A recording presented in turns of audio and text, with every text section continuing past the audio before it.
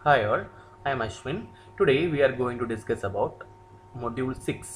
Okay അപ്പോൾ നമ്മൾ ഈ ഒരു സെഷനിൽ ഡിസ്കസ് ചെയ്യാൻ പോകുന്നത് മൈക്രോസ്കോപ്സിനെ പറ്റിയിട്ടാണ് okay so in this class will be discussing mainly on optical microscopes or light microscope okay നമുക്ക് ബേസിക് ആയിട്ടുള്ള ഒരു ഇൻട്രൊഡക്ഷനിലോട്ട് വരാം സോ മൈക്രോസ്കോപ്പ് എന്നുള്ള word is derive from the Greek word micros which is meaning small and scopio means to look at okay അപ്പം mainly മൂന്ന് basic types of microscopes ആണ് നമുക്ക് അവൈലബിൾ ആയിട്ടുള്ളത്. ഒന്ന് ഒപ്റ്റിക്കൽ ടൈപ്പ് പിന്നെ charged particle or electron and ion type and scanning probe type okay അപ്പോൾ മൊത്തത്തിൽ നമുക്ക് മൈക്രോസ്കോപ്സിനെ മൂന്നായിട്ട് ക്ലാസിഫൈ ചെയ്യാം. ഒന്ന് optical microscopes second one is electron microscopes and scanning probe microscopes okay so optical microscopes എന്ന് പറഞ്ഞാൽ നമുക്ക് എല്ലാവർക്കും ഫെമിലർ ആയിട്ടുള്ളതാണ്. The use visible light and transparent lenses അപ്പോൾ വിസിബിൾ ലൈറ്റും ട്രാൻസ്പെറന്റ് ലെൻസസ് ഉപയോഗിച്ചിട്ടാണ് നമ്മൾ സ്മോൾ ഒബ്ജക്ട്സിനെ വ്യൂ ചെയ്യുന്നത്. Of the range about one micrometer okay as red blood cells human hair etcetera okay അപ്പോൾ ഈ ഒപ്റ്റിക്കൽ മൈക്രോസ്കോപ്സ് എന്ന് പറഞ്ഞാൽ ദ യൂസ് വിസിബിൾ ലൈറ്റും transparent ലെൻസസും to see the small objects okay അപ്പോൾ വിസിബിൾ ലൈറ്റ് ഉപയോഗിക്കുന്നത് കൊണ്ട് ഓപ്റ്റിക്കൽ മൈക്രോസ്കോപ്സിനെ നമ്മൾ വേറൊരു പേരും പറയാറുണ്ട്. That is light microscope okay ഇനി ഇലക്ട്രോൺ ആൻഡ് അയോൺ മൈക്രോസ്കോപ്സ് എന്ന് പറഞ്ഞാൽ the use a beam of charged particles visible ലൈറ്റിന് പകരം നമ്മൾ ഒരു beam of charged particles use ചെയ്യും. പിന്നെ നമ്മുടെ സാധാരണ ലെൻസസിന് പകരം electromagnetic or electrostatic lenses use ചെയ്യും. എന്നിട്ട് നമുക്ക് ആ ബീം ഓഫ് ചാർജ്ഡ് പാർട്ടിക്കിൾസിന്റെ ഫ്ലോനെ നമ്മൾ കൺട്രോൾ ചെയ്യും. ഓക്കെ. അപ്പോൾ ഇലക്ട്രോൺ മൈക്രോസ്കോപ്സ് ഒക്കെ നമ്മൾ യൂസ് ചെയ്യുന്നത് കുറച്ചും കൂടി നമുക്ക് റിസോൾവിംഗ് പവർ വേണ്ട റിസോൾവിംഗ് പവർ എന്നല്ല നമുക്ക് കുറച്ചും കൂടി ചെറിയ ഒബ്ജക്ട്സിനെ കാണാൻ in the range of nanometers ആണ് നമ്മൾ മെയിനായിട്ട് യൂസ് ചെയ്യുന്നത്. Okay scanning probe micro microscopes എന്ന് പറഞ്ഞാൽ they use a physical probe very small അല്ലെങ്കിൽ sharp നീഡിലായിരിക്കും that can scan over the sample in contact or near contact with the surface okay ഇപ്പം probe വെച്ചിട്ടുള്ളതാണ് scanning probe microscopes okay so nineteen ട്വന്റീസിലാണ് മെയിനായിട്ട് ആക്സൈഡ് electrons ലൈറ്റിനെ പോലെ behave ചെയ്യും വാക്യൂമിൽ നിന്ന് കണ്ടുപിടിച്ചത്. Okay so they travel in straight lines and have wave like properties പക്ഷെ അതിന്റെ ഇലക്ട്രോൺസിന്റെ വേവ് ലെങ്ത് എന്ന് പറഞ്ഞാൽ ആക്സലൈഡ് ഇലക്ട്രോൺസിന്റെ വേവ് ലെങ്ത് എന്ന് പറഞ്ഞാൽ about hundred thousand times shorter ആണ് as compared to visible light okay അതായത് നമ്മൾ ഇപ്പോൾ നമുക്കൊരു മൈക്രോസ്കോപ്പിന്റെ റിസോൾവിംഗ് പവറോ അല്ലെങ്കിൽ മാഗ്നിഫൈങ് പവർ നമ്മൾ പറയുന്ന സമയത്ത് നമുക്കതൊരു കാര്യം പറയാം. Resolving power can be is inversely proportional to wavelength okay അപ്പോൾ വേവ് ലെങ്ത് കൂടുമ്പോൾ റിസോൾവിംഗ് പവർ എന്ത് ചെയ്യും? കുറയും. അപ്പോൾ നമ്മൾ നോക്കിയാൽ നമ്മൾ വിസിബിൾ ലൈറ്റിന്റെ റിസോൾവിംഗ് പവർ എന്ന് പറഞ്ഞാൽ എന്തായിരിക്കും?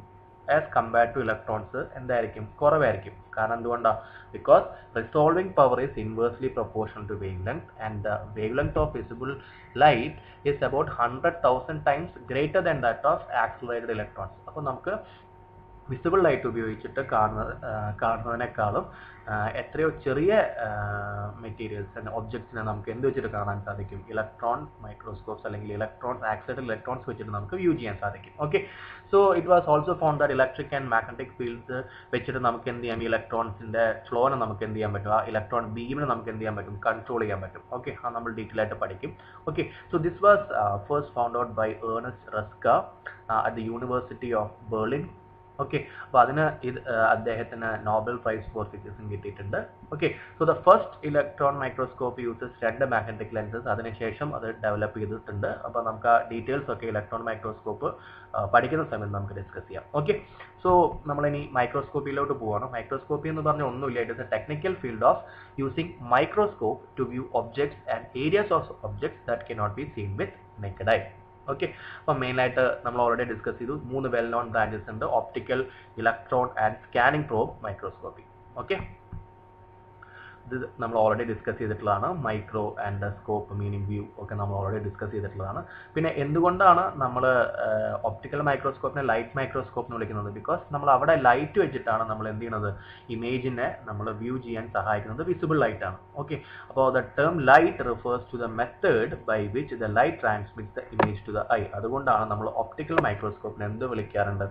ലൈറ്റ് മൈക്രോസ്കോപ്സ് എന്ന് വിളിക്കാറുണ്ട്. ഓക്കെ അപ്പോൾ ലൈറ്റ് മൈക്രോസ്കോപ്പ് വെച്ചിട്ട് നമുക്ക് എന്തൊക്കെ കാണാം? സെൽ വാൾ കാണാം സൈറ്റോപ്ലാസം കാണാം chloroplast nucleus okay cell membranes ഒക്കെ നമുക്ക് വ്യൂ ചെയ്യാൻ സാധിക്കും. ഓക്കെ സോ ഒപ്റ്റിക്കൽ മൈക്രോസ്കോപ്പിനെ നമ്മൾ ഓൾസോ റിഫർ ടു ആസ് നമ്മളോടെ ഡിസ്കസ് ചെയ്തതാണ് light microscope and the type of microscope that commonly uses visible light and a system of lenses അപ്പോൾ visible ലൈറ്റും സിസ്റ്റം ഓഫ് ലെൻസസും വെച്ചിട്ട് നമുക്ക് magnified images of small objects കിട്ടുന്ന മൈക്രോസ്കോപ്പിനാണ് നമ്മൾ ഒപ്റ്റിക്കൽ മൈക്രോസ്കോപ്സ് എന്ന് വിളിക്കുന്നത്.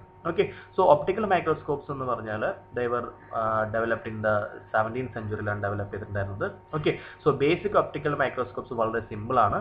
ഓക്കെ അപ്പോൾ നമ്മൾ കോംപ്ലക്സ് ഡിസൈൻസ് മെയിനായിട്ട് നമ്മൾ യൂസ് ചെയ്യുന്നതെന്ന് വെച്ചാൽ റെസൊല്യൂഷനും അതേപോലെ സാമ്പിൾ കോൺട്രാസ്റ്റ് പോലെയുള്ള കാര്യങ്ങളൊക്കെ ഒന്ന് ഇമ്പ്രൂവ് ചെയ്യാൻ വേണ്ടിയിട്ടാണ് നമ്മൾ യൂസ് ചെയ്യുന്നത്. Okay maximum magnification power of optical microscope limited ഒരു തൗസൻഡ് ടൈംസിനൊക്കെ ലിമിറ്റ് ചെയ്തിട്ടുണ്ട്. Because of the limited resolving power of visible light നമ്മളത് ഓൾറെഡി ഡിസ്കസ് ചെയ്തു. അതിൽ ഈ തൗസൻഡ് ടൈംസിൽ നമ്മൾ ഇനി പഠിക്കാൻ പോകുന്നേ ഉള്ളൂ. നമ്മുടെ ഒപ്റ്റിക്കൽ മൈക്രോസ്കോപ്പിന് രണ്ട് ലെൻസസ് ആണ് മെയിൻ ആയിട്ടുള്ളത്. അല്ലെങ്കിൽ സെറ്റ്സ് ഓഫ് ലെൻസ് ആണുള്ളത്. ദാറ്റ് ഇസ് ഒബ്ജക്റ്റീവ് ലെൻസും ഐ പീസും ഒബ്ജക്റ്റീവ്സിന് ഏകദേശം ഹൺഡ്രഡ് ടൈംസ് മാഗ്നിഫൈ ചെയ്യും. ഐ പീസ് ഒരു ടെൻ ടൈംസ് മാഗ്നിഫൈ ചെയ്യും. അപ്പോൾ ഓവറോൾ നമുക്ക് ഒരു തൗസൻഡ് ടൈംസ് ആയിരിക്കും മാഗ്നിഫിക്കേഷൻ കിട്ടും ഓക്കെ ശരി. അപ്പോൾ ടൈപ്സ് ഓഫ് ഒപ്റ്റിക്കൽ മൈക്രോസ്കോപ്പ്സ് രണ്ട് ടൈപ്പ് ഉണ്ട്. ഒന്ന് സിമ്പിൾ മൈക്രോസ്കോപ്പ് ഉണ്ട്. അതുപോലെ തന്നെ കോമ്പൗണ്ട് മൈക്രോസ്കോപ്പ് ഉണ്ട്. ഓക്കെ സോ സിമ്പിൾ മൈക്രോസ്കോപ്പ് എന്ന് പറഞ്ഞാൽ എന്താണ്? Simple microscope uses the optical power of single lens അല്ലെങ്കിൽ ഒരു ഗ്രൂപ്പ് ഓഫ് ലെൻസ് സിംഗിൾ ലെൻസോ അല്ലെങ്കിൽ ഗ്രൂപ്പ് ഓഫ് ലെൻസസോ ഫോർ മാഗ്നിഫിക്കേഷൻ അതിനാണ് നമ്മൾ സിമ്പിൾ മൈക്രോസ്കോപ്പ് എന്ന് പറയുന്നത്. കോമ്പൗണ്ട് മൈക്രോസ്കോപ്സ് എന്ന് പറഞ്ഞാൽ എന്താണ്? They use a system of lenses അതായത് ഒന്നുകിൽ കൂടുതൽ സെറ്റ് ഓഫ് ലെൻസസോ അല്ലെങ്കിൽ സിസ്റ്റം ഓഫ് ലെൻസസോ ഉപയോഗിച്ചിട്ട് മാഗ്നിഫിക്കേഷൻ അച്ചീവ് ചെയ്യുന്നതിനെ നമ്മൾ എന്ത് വിളിക്കുന്നു? കോമ്പൗണ്ട് മൈക്രോസ്കോപ്പ് കോമ്പൗണ്ട് മൈക്രോസ്കോപ്സ് എന്ന് വിളിക്കുന്നു. Okay so a compound microscope uses a system of lenses one set enlarging the image produce by another അപ്പോൾ ഒന്നിൽ കൂടുതൽ സെറ്റ് ഓഫ് ലെൻസസ് ഉണ്ടാവും. ഫോർ എക്സാമ്പിൾ നമ്മൾ നേരത്തെ പറഞ്ഞ പോലെ ഒബ്ജക്റ്റീവ് ഐ പീസ് രണ്ട് സെറ്റ്സ് ഓഫ് ലെൻസ് ഉണ്ട്. അല്ലെങ്കിൽ രണ്ട് ലെൻസ് നമ്മൾ ടൈപ്പ് ഓഫ് ലെൻസസ് നമ്മൾ മെയിനായിട്ട് യൂസ് ചെയ്യുന്നുണ്ട്. ഓക്കെ സോ അങ്ങനത്തെ ടൈപ്പ് ഓഫ് മൈക്രോസ്കോപ്സിനെയാണ് നമ്മൾ കോമ്പൗണ്ട് മൈക്രോസ്കോപ്സ് എന്ന് പറയുന്നത്. ഓക്കെ സോ നമ്മൾ ഇന്ന് റിസർച്ച് പേർപ്പസിനൊക്കെ ഉപയോഗിക്കുന്ന മൈക്രോസ്കോപ്സിൽ മിക്കവാറും എന്ത് തന്നെയാണ്? കോമ്പൗണ്ട് മൈക്രോസ്കോപ്സ് തന്നെയാണ്. ഓക്കെ സോ നമുക്ക് ആദ്യം തന്നെ ഒരു സിമ്പിൾ മൈക്രോസ്കോപ്സ് സിമ്പിൾ മൈക്രോസ്കോപ്പിന്റെ വർക്കിംഗ് നമുക്കൊന്ന് ഡിസ്കസ് ചെയ്യാം. ഓക്കെ ഇവിടെ നിങ്ങൾ നോക്കിയ സിമ്പിൾ മൈക്രോസ്കോപ്പ് എന്ന് പറയുന്നത് എന്താണ്? ഒരു simple microscope uses a lens അല്ലെങ്കിൽ ഒരു set of lenses to enlarge an object through the angular magnification alone giving the viewer and erect enlarged virtual image അപ്പോൾ നമ്മളിവിടെ ഒരു ഒറ്റ സിംഗിൾ ആയിട്ടുള്ള ഒരു കോൺവെക്സ് ലെൻസ് ഉപയോഗിച്ചിട്ടുള്ളൂ. അപ്പോൾ അത് വെച്ചിട്ടാണ് നമ്മൾക്ക് ഇതിൽ മാഗ്നിഫിക്കേഷൻ പോസിബിൾ ആയിട്ടുള്ളത്. സോ നമുക്ക് ഈ ടൈപ്പ് ഓഫ് മൈക്രോസ്കോപ്സിനെ നമ്മൾ എന്ത് വിളിക്കുന്നു? സിമ്പിൾ മൈക്രോസ്കോപ്സ് വിളിക്കുന്നു. അപ്പോൾ ഇതൊക്കെ നിങ്ങൾ നിങ്ങളെ പ്ലസ് ടുവിൽ ഓൾറെഡി പഠിച്ചിട്ടുള്ളതാണ്. അതാണ് നമ്മുടെ ഒബ്ജക്റ്റ് ഒബ്ജക്റ്റിനെ നമുക്ക് അപ്പിയർ ചെയ്യുന്നത് ഒരു ഒരു എന്തായിട്ടാണ്? ഒരു erect and enlarged virtual image ആയിട്ടാണ് നമുക്ക് കാണാൻ സാധിക്കുന്നത്. എവിടെ? ഒരു സിമ്പിൾ മൈക്രോസ്കോപ്സുകൾ ഓക്കെ ഇത് സെൽഫ് എക്സ്പ്ലനേറ്ററി ആണ്. നിങ്ങൾക്ക് മനസ്സിലായെന്ന് വിചാരിക്കുന്നു. നമ്മളിവിടെ ഒരൊറ്റ ലെൻസ് മാത്രമേ ഉപയോഗിച്ചിട്ടുള്ളൂ. ഒരു അല്ലെങ്കിൽ ഒരു ഒറ്റ സിസ്റ്റം ഓഫ് ലെൻസസ് മാത്രമേ ഉപയോഗിച്ചിട്ടുള്ളൂ. അതുകൊണ്ടാണ് നമ്മൾ അതിനെ എന്ത് വിളിക്കുന്നത്? സിമ്പിൾ മൈക്രോസ്കോപ്സ് എന്ന് വിളിക്കുന്നത്. Okay so the next one is obviously എന്താണ്? കോമ്പൗണ്ട് മൈക്രോസ്കോപ്പ് ആണ്. ഓക്കെ അപ്പോൾ നമുക്ക് കോമ്പൗണ്ട് മൈക്രോസ്കോപ്സിൽ നമ്മൾ രണ്ട് ലെൻസുകൾ യൂസ് ചെയ്യുന്നുണ്ട്. ഒന്ന് ഒബ്ജക്റ്റിന്റെ അടുത്ത് വെച്ചിട്ടുള്ള ലെൻസ് ഒബ്ജക്റ്റിന്റെ അടുത്ത് വെച്ചിട്ടുള്ള ലെൻസ് നമ്മൾ ഒബ്ജക്റ്റീവ് ലെൻസ് എന്ന് വിളിക്കുന്നു. പിന്നെ കണ്ണിന്റെ അടുത്ത് ഉള്ള ലെൻസ് നമ്മൾ നോക്കുന്ന ലെൻസ് നമ്മൾ ഐ പീസ് ലെൻസ് എന്നുമാണ് വിളിക്കുക. ഓക്കെ സോ നമ്മൾ ഈ ഒബ്ജക്റ്റീവ് ലെൻസ് എന്താണ് ചെയ്യുന്നത് വെച്ചാൽ നമ്മുടെ ഒബ്ജക്റ്റിന്റെ ഒരു റിയലും ഇൻവേർട്ടഡും ആയിട്ടുള്ള റിയൽ ഇമേജ് ആണ്. റിയൽ ആൻഡ് ഇൻവേർട്ടഡ് ഇമേജ് ആണ് അവിടെ ഫോം ചെയ്യുന്നത് ഒബ്ജക്റ്റീവ് ലെൻസ് ഫോം ചെയ്യുന്നത്. ഓക്കെ ഇനി നമ്മളത് ഐ പി എസിലൂടെ നോക്കുകയാണെങ്കിൽ നമുക്കത് കുറച്ചുകൂടി ഇറക്റ്റഡ് ആയിട്ടുള്ള ഒരു ഇമേജ് ആയിട്ട് ഫീൽ ചെയ്യും. ഓക്കെ പക്ഷേ ഈ ഐ പി എസിലൂടെ നമ്മൾ നോക്കുമ്പോൾ കാണുന്ന ഇമേജ് എന്ന് പറഞ്ഞാൽ റിയൽ അല്ല. ദാറ്റ് ഇസ് ഇമേജ് ടു എന്ന് പറഞ്ഞാൽ റിയൽ അല്ല. അതെന്താണ്? ഒരു വെർച്വൽ ഇമേജ് ആണ്. അത് എന്താണ്? എൻലാർജ്ഡ് ആയിട്ടുള്ള ഇൻവേർട്ടഡ് ആയിട്ടുള്ള വെർച്വൽ ഇമേജ് ആണ് നമുക്ക് കാണാൻ സാധിക്കുന്നത്. ഓക്കെ അപ്പോൾ ഇതിൽ ഒരു compound microscope uses a lens close the object being viewed to collect light call the objective lens which focuses എന്താണ്? ഒരു റിയൽ ഇമേജ് ആ റിയൽ ഇമേജ് ആണ് നമ്മൾ എന്ത് വിളിക്കുന്നത് image one inside the microscope അപ്പോൾ objective lens image one form ചെയ്യുന്നു. That image is then magnified by a second lens called eye eyepiece that gives the viewer an enlarged virtual image of the object.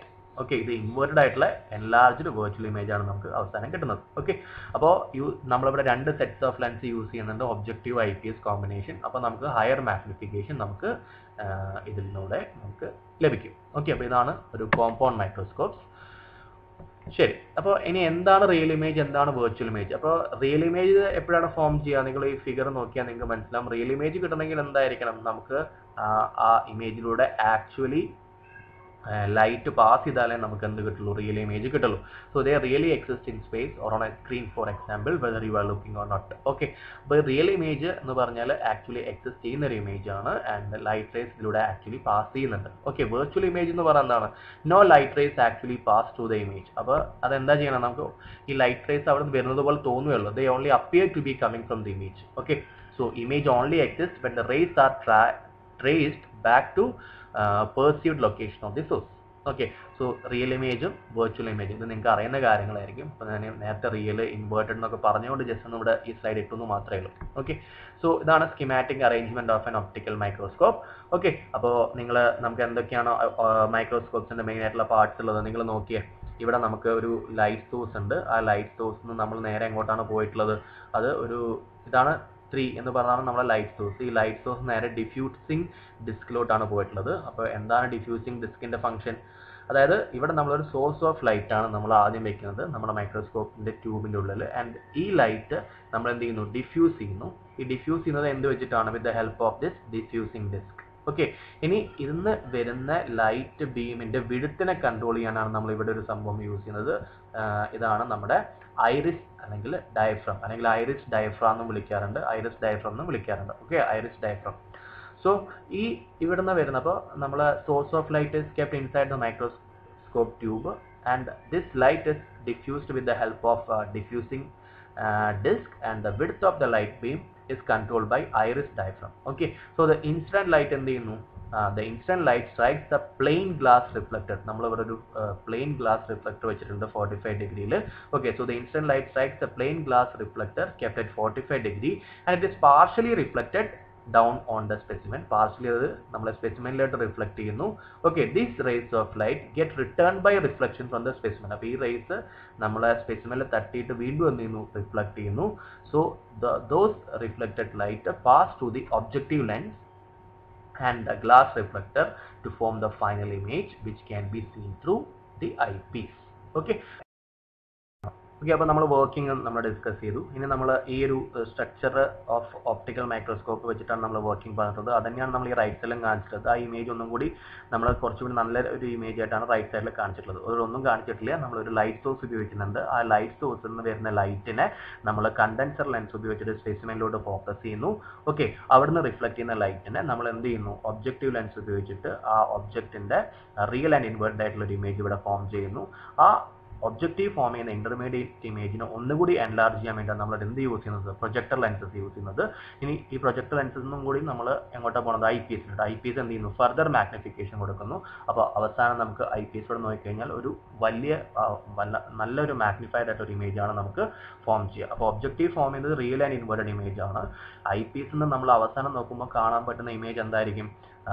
Inverted enlarged virtual image ആണ് നമുക്ക് I പി എസിലൂടെ നമുക്ക് കാണാൻ സാധിക്കുക. നമ്മൾ already discuss ചെയ്തതാണ്. Okay ഇനി നമുക്ക് കുറച്ച് ഇതിലെ മെയിൻ ഫംഗ്ഷൻസും കാര്യങ്ങളൊക്കെ പഠിക്കണം. കുറച്ച് എന്താണ് കോസ് അഡ്ജസ്റ്റ്മെന്റ് നോക്ക് എന്താണ് ഫൈൻ അഡ്ജസ്റ്റ്മെന്റ് നോക്ക് നമുക്ക് പഠിക്കണം. അപ്പോൾ അതിനു മുന്നേ എന്താണ് സ്റ്റേജ് എന്ന് നമുക്ക് പഠിക്കണം. സ്റ്റേജ് എന്ന് ഒന്നുമില്ല horizontal surface the horizontal surface upon which the slide is placed അപ്പോൾ സ്ലൈഡ് പ്ലേസ് ചെയ്യുന്ന അതായത് സ്പെസിഫിക് വെക്കാൻ ഉപയോഗിക്കുന്ന സ്ലൈഡ് പ്ലേസ് ചെയ്യുന്ന ഹൊറിസോണ്ടൽ സർഫസിനാണ് നമ്മൾ സ്റ്റേജ് എന്ന് പറയുന്നത്. പിന്നെ ബോഡി ട്യൂബ് ബോഡി ട്യൂബ് എന്ന് പറഞ്ഞാൽ it's a hollow tube tube through which light travels from objective to ocular അല്ലെങ്കിൽ I P S I P എസിന് പറഞ്ഞ വേറെ പേരാണ് ഒക്യുലാർ അപ്പോൾ ലൈറ്റ് ട്രാവൽ ചെയ്യുന്ന ട്യൂബിനെ പറഞ്ഞ പേരാണ് body tube okay visible light objective നിന്ന് ഐ പി എസിലോട്ട് ട്രാവൽ ചെയ്യുന്ന ട്യൂബിനെ പറഞ്ഞ പേരാണ് body tube coarse adjustment knob എന്ന് പറഞ്ഞാൽ നമ്മൾ മെയിനായിട്ട് ആം ഓഫ് ദ മൈക്രോസ്കോപ്പിലാണ് ഉണ്ടാവുക. അപ്പോൾ ഇതിന്റെ മുകളിൽ ഒരു ഗിയറിംഗ് മെക്കാനിസം ഉണ്ട്. അപ്പോൾ ഈ ഗിയറിംഗ് മെക്കാനിസം നമ്മൾ അഡ്ജസ്റ്റ് ചെയ്ത് കഴിഞ്ഞാൽ ചെറുതായിട്ടൊന്ന് മൂവ് ചെയ്യുമ്പോഴേക്ക് തന്നെ നമ്മുടെ സ്റ്റേജ് സ്റ്റേജ് എന്ത് ചെയ്യുന്നു? വല്ലാണ്ട് അങ്ങ് മൂവ് ചെയ്യും. ഓക്കെ അപ്പോൾ the gearing mechanism of adjustment on the coarse adjustment of produces a large vertical movement of the stage with only a partial revolution of the knob അപ്പോൾ അതുകൊണ്ട് തന്നെ നമ്മൾ കോസ് അഡ്ജസ്റ്റ്മെന്റ് നോബ് ചെറുതായിട്ടൊന്ന് തിരിച്ചാൽ തന്നെ വലുതായിട്ട് അതിന്റെ റിസോൾവിംഗ് പവർ അല്ലെങ്കിൽ മാഗ്നിഫൈങ് പവറിനൊക്കെ വ്യത്യാസം വരും. ഓക്കെ അപ്പോൾ അത് നമ്മൾ മെയിനായിട്ട് കോസ് അഡ്ജസ്റ്റ്മെന്റ് നോബ് യൂസ് ചെയ്യുന്നത് low power ലെൻസസിലാണ് and it is use never with high power lenses okay അപ്പോൾ ഹൈ പവർ ലെൻസസിൽ നമ്മൾ യൂസ് ചെയ്യുന്ന നോബാണ് fine adjustment knob fine adjustment knob is located inside the coarse adjustment knob and it is used to bring the specimen into sharp focus under low power and is also used for all focusing when using high power lenses okay അപ്പോൾ ഇത്രയാണ് നമുക്ക് ഇതിലുള്ള കാര്യങ്ങൾ പറയാനുള്ളത്. നമ്മൾ ഒരു ഇതെല്ലാ കാര്യങ്ങളും നമ്മൾ ഡിസ്കസ് ചെയ്തു. നമ്മൾ functions of various parts of an optical microscopes types of optical microscopes അതിന്റെ വർക്കിംഗ് ഒക്കെ ഡിസ്കസ് ചെയ്തു. ഓക്കെ അപ്പോൾ താങ്ക് യു സ്റ്റുഡൻസ്